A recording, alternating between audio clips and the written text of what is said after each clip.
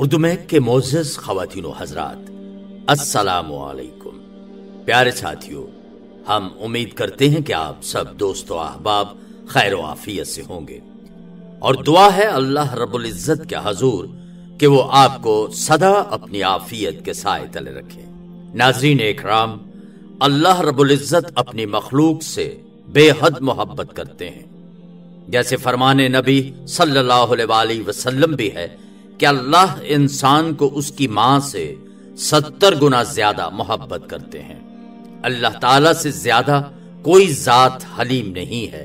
न बदला लेता है और न किसी गुनाह पर रिज्क के दरवाजे बंद कर लेता है। न उस शख्स पर कोई अजाब लाता है। अल्लाह के नामों के बारे में सही मुस्लिम और तिरमसी में लिखा है कि अल्लाह ताला के निन्यानवे नाम हैं। इन्हें जो भी हिफ्स करके दोहराएगा तो उसे दुनिया ही नहीं, आखिरत में भी इज़्ज़त से नवाजा जाएगा। क्योंकि अल्लाह ताला के हर नाम की अलग खासियत और अलहदा सिफ्त है। लिहाजा इनके फवायद खवास भी मुख्तलिफ़ हैं। अल्लाह रबुल्ज़त के नामों में ऐसी तासीर है दोस्तों, कि अगर कोई सिद्ध नीयत से उसका विरद करे तो अल्लाह उसकी मुश्किलात को खत्म फरमा देते हैं। और उस पर राहत और आसानियाँ नाजिल फरमा दी जाती हैं। ऐसे ही इसमें पाक या हलीम के ज़िक्र से इंसान बीमारियों से महफूज रहता है। या हलीम, बुजुर्गान दीन ने इसे हसूल रिज्क के लिए भी बड़ा ही जोरावर और खूबसूरत अमल करार दिया है। लाखों नहीं, बल्कि करोड़ों हाजतमंद अल्लाह ताला के इस मुबारक से फैज हासिल कर चुके हैं। लिहाजा आप भी इस नूरानी नाम से फ़ायदा हासिल कर सकते हैं, दोस्तों। इस इस्माय हुसना के खास अमल के बारे में मजीद जानने के लिए आपसे दरखास्त है कि हमारे आज की इस वीडियो को आखिर तक ज़रूर देखिए। और अगर आपको हमारा चैनल अच्छा लगे, उर्दू मैक की वीडियो आप पहली बार देख रहे हो और अभी तक आपने हमारा चैनल सब्सक्राइब भी ना किया हो तो सबसे पहले आपसे दरखास्त है कि हमारे चैनल को ज़रूर सब्सक्राइब कर लीजिएगा और साथ ही लगे बेल आइकॉन को भी प्रेस कर लें ताकि आपको हमारी अपलोड होने वाली मजीद और मालूमती वीडियोस का नोटिफिकेशन मुस्तकबिल करीब में बर वक्त मौसू होता रहे। अज़ीज़ खातिन हजरात, इंसान की ज़िंदगी में उतार चढ़ाव तो आते ही रहते हैं। अच्छी और बुरी तकदीर पर ईमान रखना मुसलमान के लिए बेहद ज़रूरी है। अल्लाह रब्बुल इज़्ज़त ने जहाँ इंसान की दुनिया में आजमाइश के लिए उसके सामने कई इम्तिहान रखे हैं, वहीं उन इम्तिहानात से सुरखरू होने का तरीका भी रब्बुल इज़्ज़त ने बताया है। बीमारी हो या कोई और मसला, अल्लाह ताला ने अपने बंदों की राहनुमाई फरमाई है। हदीस शरीफ में आता है कि अल्लाह ने दुनिया में कोई ऐसा मर्ज नहीं उतारा जिसका इलाज ना हो। इसके साथ अल्लाह ने बीमारी अता की और साथ ही इलाज भी फरमा दिया। प्यारे दोस्तों सवाए मर्जुल मौत के, हर मर्ज की शिफा अल्लाह ताला ने अपने कलाम में बरकतों के साथ रख दी है। हमारी रोज़मर्रा ज़िंदगी में उतार चढ़ाव तो मामूल का हिस्सा है। मुआशी परेशानियाँ भी दरअसल अल्लाह ताला ही की तरफ़ से बंदे को आजमाइश के सबब मिलती हैं, ताकि बंदा अल्लाह की हर हालत में शुक्रगुजारी का आदि हो जाए और अच्छे और बुरे दोनों हालात में रब्बुल इज़्ज़त को याद रखे और रब की तरफ़ समझकर शुक्र अदा करता रहे। प्यारे दोस्तों, ज़िंदगी में गम और परेशानियाँ तो हर इंसान पर आती हैं और चली जाती हैं। कभी भी उन गमों और परेशानियों के साथ इंसान को घबराना नहीं चाहिए। जब भी कोई गम आए, कोई परेशानी आए तो फ़ौरन अपना सारा गम, अपना सारा दुख अपने अल्लाह रब्बुल इज़्ज़त को सुनाएँ, अल्लाह रब्बुल इज़्ज़त की बारगाह में पेश करें।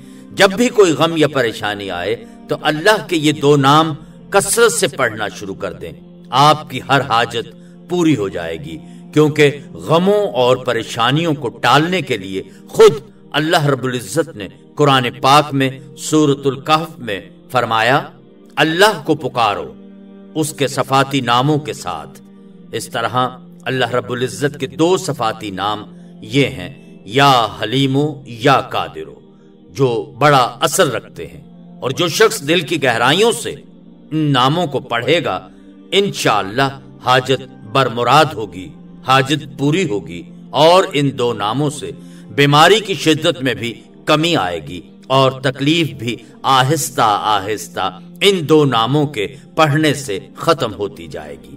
अगर कोई शख्स बीमार हो और बीमारी शिद्दत से हमला आवर हो जाए और मर्ज की शिद्दत की वजह से मरीज़ तकलीफ़ में हो, ऐसा मरीज़ जिस पर किसी किस्म की अदवायात और इलाज का असर भी न हो रहा हो तो दोस्तों नमाज़ जोहर के बाद नौ बार इसके सरहाने बैठकर इस इसमें पाक को अव्वलो आखिर ग्यारह मरतबा दरूद पाक के साथ इस तरह पढ़ना चाहिए, या हलीमो या कादिर, या हलीमो या कादिर, और फिर पानी पर दम करके मरीज़ को पिलाया जाए। इनशाला ऐसा करने से न सिर्फ़ मरीज़ के मर्ज की शिद्दत में कमी आना शुरू हो जाएगी, बल्कि अगर या सलामो भी इसके साथ लगा लिया जाए तो मरीज़ कुल्ली तौर पर सेहत याब हो जाएगा। यानी कि, या हलीमो या कादिर या सलामो, या हलीमो या सलामो या कादिर। आगे पीछे तरतीब कर आप इन तीनों नामों का इस्तेमाल कर सकते हैं। प्यारे साथियों, इस तरह रोज़गार के लिए यह मेरा आजमूदा अमल है। हसूल रिज के लिए उस्माए हुसना में से ये या हलीमो या कादिर और अगर या सलामो साथ लगा लें तो बड़ा ही मुअसर साबित होता है। इनशाला अल अज़ीज़ इस इसमें इलाही की बरकत से आपके रोज़गार में हसूल रिज्क का मसला यकीनन खत्म हो जाएगा। यानी कि आप इसके साथ अल अजीजों का भी इस्तेमाल कर सकते हैं।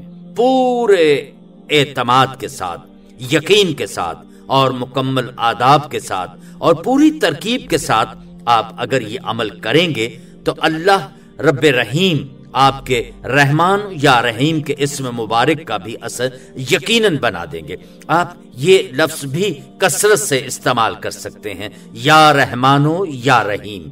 तो बुजुर्गान दीन ने इसे हसूल रिज के लिए बड़ा ही जूद असर और खूबसूरत अमल करार दिया है। लाखों नहीं दोस्तों, बल्कि करोड़ों हाजतमंद अल्लाह रबुल्जत के इस इसमें मुबारक से फैज हासिल कर चुके हैं। लिहाजा आप भी इस नौरानी नाम से फ़ायदा हासिल कर सकते हैं। बंदे को अपने रब जलील पर पूरा भरोसा है और इस वजीफे को पढ़ने वाले की जायज़ हाजत ज़रूर पूरी होने का इनशाला दावा भी किया गया है। मैंने ये वजीफा 2016 में किया और वजीफा मुकम्मल होते ही बेहतरीन मुलाजमत मिल गई। पहले ग्यारह मरतबा दरूद इब्राहिमी पढ़ें फिर तस्मीहा पढ़कर, इसमें इलाही, या हलीमो, या कादिर, ग्यारह सौ मरतबा पढ़ें। फिर अपने रोज़गार के लिए, अपने परवरदिगार की बारगाह में नहायत ही आजजी से गिड़गड़ाकर दुआ मांगे। आखिर में दोबारा ग्यारह मरतबा दरूद इब्राहिमी पढ़ें। वजीफा, सुबह फजर और शाम ईशा के बाद चालीस दिन पढ़ें। अक्सर इससे पहले ही अल्लाह रब्बुल इज़्ज़त आपको रोज़गार अता फरमा देते हैं। मगर फिर भी चालीस दिन तक पढ़ें, वक्त और जगह की पाबंदी करें, नमाज़ की पाबंदी करें और गुनाहों से परहेज करें। मेरे दोस्तों, ये सब चीज़ें बहुत ज़रूरी हैं, अगर आप वजीफे की कामयाबी चाहते हैं। हम उम्मीद करते हैं कि आपको हमारी आज की ये वीडियो ज़रूर पसंद आई होगी। अगर आपको ये वीडियो अच्छी लगी है तो आपसे दरखास्त है कि आप इसे सोशल मीडिया पर अपने दोस्तों, अहबाब और अज़ीज़ वकारम में भी शेयर कर सकते हैं, ताकि वो भी इससे बेहतर तरीके पर रहनुमाई हासिल कर सकें। मोजज, खातिन हजरात और अज़ीज़ साथियों, हमारे चैनल को इसी तरह देखते रहिए। हम फिर हाजिर होंगे एक नए टॉपिक के साथ। तब तक के अपना ढेर सारा ख्याल रखिएगा। अल्लाह निगेबान।